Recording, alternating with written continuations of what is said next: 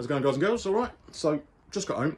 I just put my boat away and then I thought, I know a video I can make for the guys. I was just chatting to the guy, um, the governor of Boatman UK the other day, and he was telling me that a lot of the repairs and a lot of the issues they have with their boats comes down to customers not looking after, one, their boat properly, and two, definitely not looking after the battery properly. Now, being a professional photographer, I know all about batteries. I've made a point of learning about it because I use so many different types. I must have in this battery right now, I must have 200 batteries, 300 batteries at least that I just use for my job alone. Um, so I'm well versed in looking after them because I need to get as much life out of them as possible. So I thought I'd do a little video. I'm going to do a better video, a longer video with B-roll and stuff like that, that will do a, you know, a full masterclass on it. But I thought I'd do this little video now because a lot of people are going to be in this scenario now, stopping fishing for the winter, putting their boats away, and you need to look after it. So if you have already put it away, do what I tell you now, and that will make sure it's all ready and, and working well for next season. So with regards to the lithium batteries, there's a few things that I would recommend doing. One, if you can get away with it, don't charge it to 100%. Batteries, lithium batteries, don't they, they still survive and they'll still last, but they survive better. They'll last longer if you don't whack it up to 100% every single time you charge it. They survive much better at 80%. So if you're just going out for a 24 or a 48 set, 48 hour session and you know your boat can last four or five days, what I would recommend doing is just charging it for 80. You'll know from previous experience how long it takes to charge up to 100%.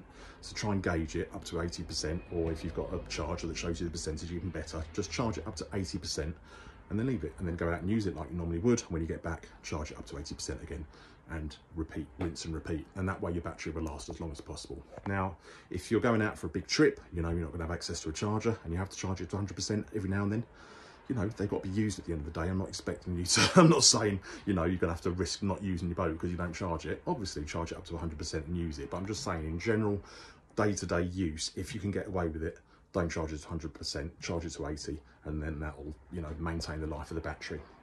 All right, and that goes for any lithium batteries that you use in your fishing knife. So if you've got, um, I don't know, I don't know, head torches, whatever, lights and stuff like that, you know, any lith anything that lose, uses a lithium battery, if you can get away with it, don't whack it straight up to 100%.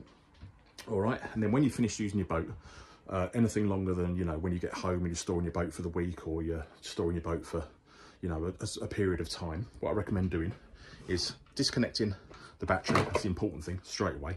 So what I do is, oh, hang on a second, I'm sorry, is unplug the battery, I take the battery out, disconnect it. I put all my paraphernalia in the boat, like my deeper and my little um, arm and stuff. Give the boat a thorough wipe down. Make sure it's all nice and clean. Give it a wipe all over.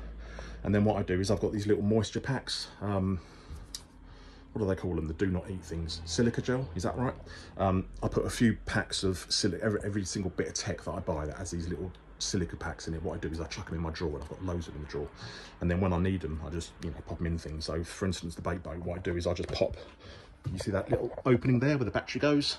I pop a couple of silica pack, packets in there.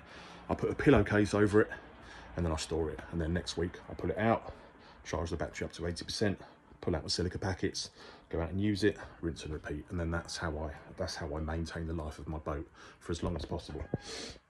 What I would say is um, if you're storing it for a long period of time, so say for instance, if you're storing your boat for the winter, I would really, really recommend every, say three months, if I've got a bit of kit that I don't use all that often, if I only use it every now and then, what I do is every three months, I plug it in, charge it up to 100%, so give it a right the way charge right up to the top, and then I'll turn it on, I'll leave it turned on and drain the battery right the way down again.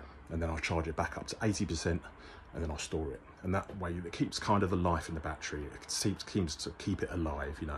If you leave it stored for an extended period of time and just don't use it, it can, I, am no scientist, if I do produce, it wears down the cells inside it, whatever, um, and just doesn't keep them in tip-top condition. So what I would do and recommend for your bait boat, if you're storing it now for the winter, you're not going to use it for an, you know, you're not going to use it till March or whatever.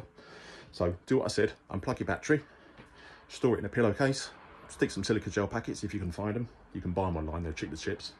Um, and then maybe a cardboard box around the top of it as well. Store it in the cupboard and then set a reminder on your phone. In January, take out the boat and give it a charge. And then in January, take out your boat, give it a charge up to 100% and then turn on the power to the turn on the power to the boat and then just leave it. And it will take, you know, take a while to drain. Uh, but then when it does drain right to the end and it's completely out, plug in your battery, charge it to 80%, and then just restore it. And then when it's ready to come out in March or whenever you next start, then it'll be good to go and you'll have uh, maintained the life of that battery. So that's what I recommend doing with your bait boats and any other bits of lithium ion battery kits that you've got. And uh, I hope to help someone. All right, I will make a better video on this, but this video will just help you go in if you are storing your boat now for the winter. All right, take care.